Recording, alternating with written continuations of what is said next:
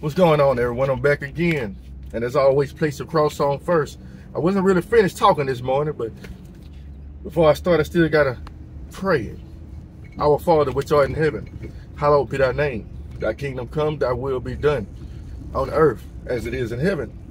Give us this day our daily bread, and forgive us our trespasses as we forgive those who trespass against us.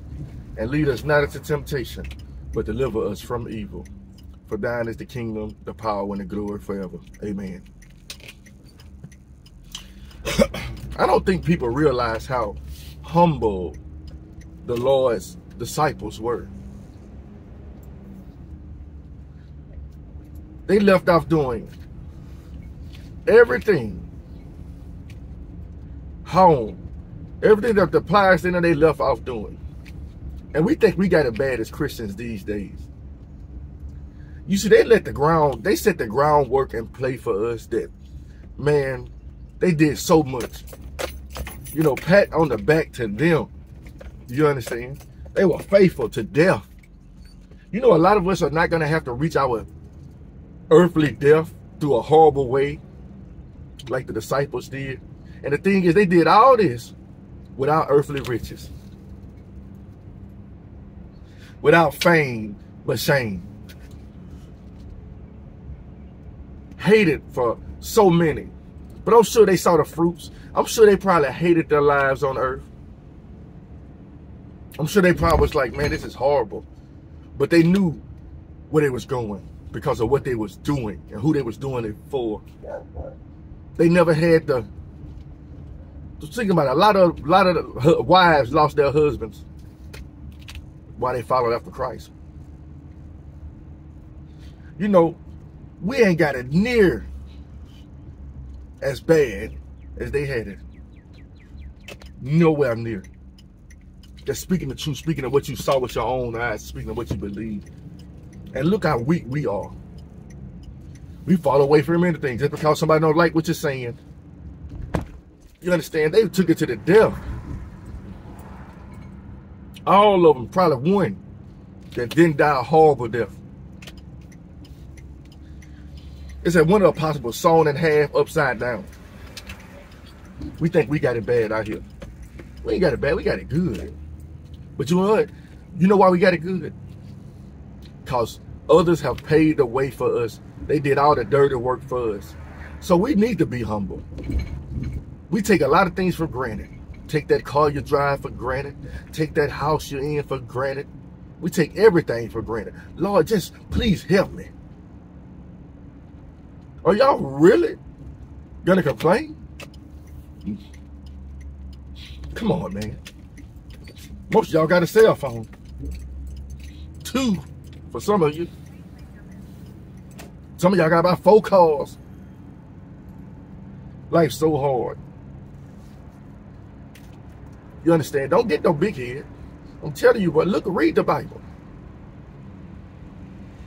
There weren't no physically rich disciples. God was their provider. That's where their hope come from. You see, that material preacher, man, I hate it because it distracts people from the truth. Distracts people from what it's all about. And you know what? So the thing is, if I hate it, I'm sure the Lord hated too because he probably hated it first. He did hate it first. And I hate what he hates. So hate me because they first hated him great. You understand? But in the midst of all that, all the trials and trouble, I'm sure they had some good times on the road, laughing, joking, smiling. You understand? I'm sure they did, but they don't really talk about that much in the Bible. So what am I getting at now? I set you up for this. Christians forget how to have full joy. Yes, be about your father's business. But you know what? When you start loving doing something, you're gonna have fun doing it. You're gonna have fun doing it. You what you are. You understand? You gotta realize, read your Bible and figure out what you can do as a Christian and what you can't do. Read it, read it, read it. If you don't know, keep asking the Lord. He'll show you what you can do and what you can't do. You know, a lot of us Christians, we let people beat themselves up. Let people beat our beat us up. Oh, you ain't right as a Christian. You ain't doing this. You ain't doing that. Read the Bible. You'll see what we can do. What we allowed to do. According to your job title. Whatever job title God gives you. You know, we we steady trying to model ourselves after people. That's the biggest problem we can ever do. Model ourselves after idols. Don't like I said, don't model yourself after me. Don't model yourself about that motivational speaker. Don't model yourself after that preacher. Don't model yourself after the preacher's wife. Let God mold you. You understand? Let God mold you. Jesus set the example. Now look at look at the, the, the world we live in. See how many people are really following his example. I'm just being real.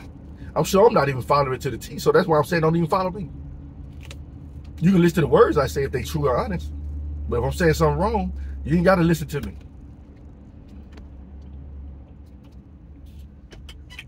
You know, people touch not, taste not. All these things, people. Christians beat up other Christians. I'm gonna tell you why. Because they, they don't realize that you done entered into the promise. And like, how are you get, able to get away with such things? You're not getting away with nothing. Once you realize what is allowed, you know, I, I be at work sometimes and I can't get out the office. Just can't. And I'm starting to realize certain different things. You know, I can't get out the office. I'm stuck, and now everybody be gone. So I got to be there. I can't leave for lunch. Can't do nothing. I know what you like, man. Bring your own lunch. And I'm going to tell you something. You ain't got to do all that. Man, people are just brain food. But like, hey, I got this plate for you. I'm like, God it's good. And guess what it'll be? Might be some ribs. Oh man, I ain't eating these ribs. Pork, pork, oh Lord Jesus. You better eat it. You better eat it, I'm telling you. I'm just telling y'all people, can't get away from work. Stuff like that happen. Random encounters like that. Cause God knows what you need before you ask of it. You know, some days I might get there and don't don't eat nothing, just drink water all day. Maybe that's what he want me to do. Drink water. Maybe he want me to fast for from eight to five. Or to six. That's the normal time I normally make it home between 5.30 and 6 o'clock. If I get home at 5.30, I'm probably not eating. You know, fasting is really a 12 hour thing. A lot of people don't look at that. You see, God let you know when to fast and when not to. When to eat, when not to eat. What to eat, what not to eat. He'll let you know in the spirit. You see, y'all are trying to justify yourselves through the law, and you can't. You see, God poured out his spirit to give you the ultimate guidance system. You know how missiles, once they see their target, they're going to go there. They ain't going to stop till they hit their target. That's the Holy Spirit when it comes to us. It guides us directly to where we need to go, what we need to do, what we need to say, and whatever. That's why you don't got to meditate on what you got to say beforehand. Like, let's take this afternoon. I know for a fact, according to what's been going on in my workplace today, a lot of people are going to be gathering at the house next door to me. Now, first thing I come to my mind, I mean, company's going to be all around. So I'm like, like I said, God has set the stage. Now, what am I going to do? Don't worry about it. Look how he'll start bringing things to you you know, I remember when I first got into the house that God put me in right now, I was like, man, this is so boring. Nobody never comes around. Then my next door neighbor that happened to be my cousin, she has she brings a lot of company around. And uh, most of the company is family.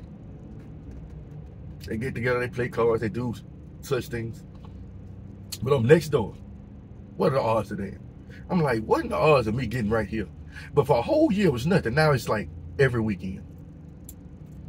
I tell people all the time, you better enjoy them breaks when you get them. Because God is setting up something way greater than you. And the thing is, now, he want to see if you're going to do and behave yourself how he's been training you to behave yourself. You understand? It's very simple. And the thing is, and it's a joy to be around people sometimes. And ain't as bored not to be around people sometimes. God, like I said, God's trying to balance you out. whenever God gives you a time period or a time frame when it's just you sitting alone, just remember He training you. He preparing you for something way bigger and way deeper than you can ever imagine. You understand? I used to try to make plans. Like, one thing I, I like to do, but I don't do it a lot. I'm gonna tell you what it is. Fishing. And I, I always like, I want to go fishing. I never go. And I wake up in the morning, I be like, Lord, I want to go fishing. Not this week. I'm like, what? That don't make sense. It's just fishing. I got something else for you to do. Whatever it may be. Same way with Peter them. Hey, I want to go fishing. All right. When they went fishing, he went to him and told him, hey, it's time to get back to work. I meet you fishers a minute. There'll come a time when I, am sure the God God's gonna let me go fishing. But when God is working on you, a lot of things you want to do, you ain't gonna do. And a lot of things that you ain't planned to do, you're gonna do. It is what it is. But Christians are so these new age Christians, I'm telling you, they be watching these people on TV perform and they see them all glam glamorous and glitterful, fancy clothes and this and like that. But you know what I don't see about a lot of these motivational speakers? They really don't talk about real things. They leave a lot of stuff out. So when people look at them, they look at them like, look at those perfect people on TV.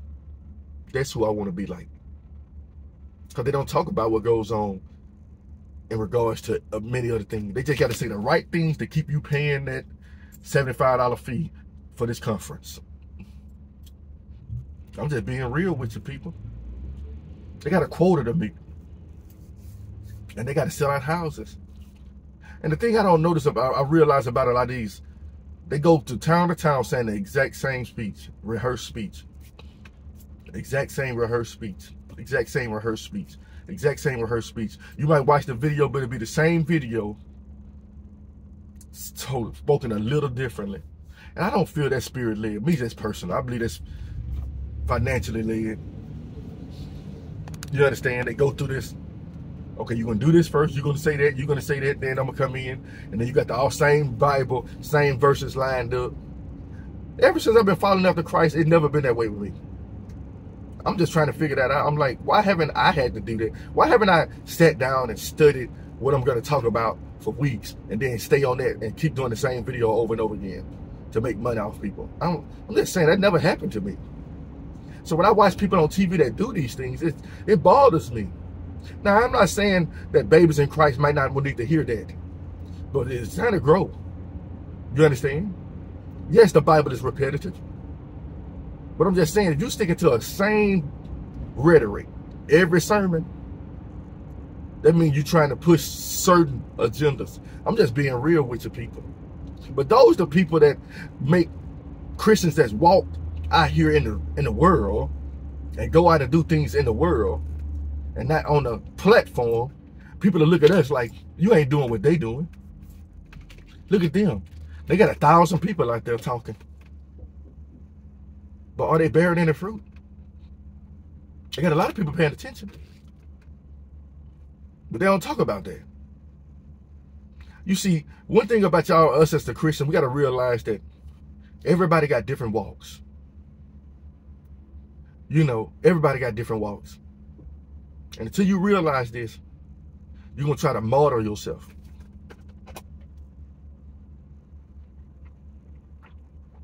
You're going to start thinking everybody need to be on the big screen. Everybody's not going to be on the big screen. You know how many apostles, I mean disciples in the Bible that are not in the Bible? The, so many that went out, that name ain't even brought up. Because it's not about that. It's not about your name being recognized. It's about his name being recognized. And I listen to people will say, like they'll watch these motivational speakers. They'll be like, so-and-so said this. Hmm, so-and-so said that. You see how Jesus start fading to the back? T.D. Jakes said this. Hmm. Joel Osteen said that. Joyce Meyers said this. You, you got to pay attention to this. Who you listening to? Are you listening to them? Are you trying to hear the word? Are you molding yourself after them? Are you trying to mold yourself for the word? Because there's a lot of motivators out there. A lot of motivators. But how many people are real? You know, I know what you're finna say. And I'm finna, I say this so many times. Well, as long as the gospel is preached. Keyword, the gospel. Everything. Me personally, I think every conference should have a different topic. Every sermon should be a little different from the other. That's what I believe. Not exactly the same. Not a syllabus guided motivational speech. Some things got to come from the dome. Sometimes the best thing, the best talk way to talk to people is from off the head with no mistakes. That's why I don't edit my videos. What you hear, what you get. I don't edit them. You know what God tell me to do when I get from the recorder? Load it up and leave it there. Don't edit it. Don't change it. Keep it as it is. As honest and true and sincere as it is. Unscripted. Straight up there. That's how you're going to be in this world. I keep telling people, that's how you're going to go out. You're going to go out in an unscripted environment. You don't know how kind of people in a perfect, just think about a stage. That's the perfect, most perfect environment in the world. You got you on the stage and everybody else in the audience. You ain't got to make no physical contact. You ain't got to go out there and talk to each individual person. That's the easiest platform to, to talk on. But what about when everything's going on around you? You got this person over there doing that. You got this person over there doing that. And you got to use your discernment to figure out who God wants you to talk to. That's ministry to me. I don't know what that is. But so, it don't sit right with me. I'm just being real with you people. I'm trying to tell y'all something. You see, y'all looking for ministry through the television a lot of times. You understand? And then you start watching these people on TV, and then you start getting hateful. You're like, why in the world are you getting hateful now? You got to pay attention to that. Like, why am I acting like this after I watched that? Something ain't right here. Some should start sitting up in your mind like, maybe it's this video and not the person. Maybe it's that. I'm just being real. You know, when I first started going to church, that's how I used to be. I used to go to church, and I look at people who didn't go to church, and I'll be angry at them because they didn't go, and be mad. I'm like, what kind of spirit did I just inherit from this church? And I'm asking you right now, what kind of spirit are you inheriting when you're watching these videos? It might not be the holy one. Because now you're angry and bitter and no joy in your life. Now you feel funny. Now everybody you around, some doing something to you. I'm telling you, I'm telling y'all this because that's how I went through it. I had to grow away from that. You understand? How long do you expect to behave, stay a baby in Christ? It's time to grow up. And do what God called you to do. Instead of trying to mold yourself after these motivational speakers. But that's all they are. Most of them don't even tell the whole truth. They tell you just what they want you to eat up. They bounce around scripture to make it look like they know it. But it's all rehearsed. Most of are actors, showmen. That's all they are. That's all they are. Convincing you that they something that they ain't. But you're gonna see it. You're gonna realize it one day. The thing is, people, when God reveals it to you, don't be shocked. Because there's a lot of false teachers and false prophets out there. They'll be like, oh, I ain't preaching. But get up there and start preaching. I'm like, something ain't right here. You see, I tell y'all these things because I go through these things. I'm trying to warn you beforehand. It's up to you to see it. It's up to you to see it, people. Because if not, you're going to keep fooling yourself and fooling yourself and fooling yourself. You keep following these people who uh, ain't doing no but misleading you. They're not. You know, God tells us so many times to beware wolves in sheep clothing. But why don't we pay attention to that? That's one of the things we overlook more than anything. The wolves in sheep clothing. We think everybody that say Lord, Lord is of God. You better pay attention. There's some good teachers out there. There's some false teachers out there too. But you need discernment to realize who's real and who's fake. And whoever God wants to remove from your life, far as who you've been following after, you better see what He's showing you. You better see what He's showing you. I've been there. When I first became a Christian, that's how I was. I wanted the word so bad, I was like, I got to hear from somebody else. And then I was like, man, I just read this and that one, okay. And then eventually the Lord was like, you know what? Study yourself now. Now the journey begins. You're starting to wake up to the truth and the knowledge thereof. Now class is really for the begin. When you start getting that discernment that you didn't have before. Trying to figure out how to test the spirits. It's not that you're trying to figure out you look you're better than them, but don't you want to grow? Or you want to be under a tutor your whole life? I'm just trying to tell y'all something that I've been realizing. Are y'all really seeking after y'all y'all find that one person that y'all like to listen to? And then y'all get stuck under them. And now you're idolizing them. You stay under that schoolmaster too long, I'm telling you it's gonna mess you up. That's all I got for you. That's it for today, people. Have a blessed one.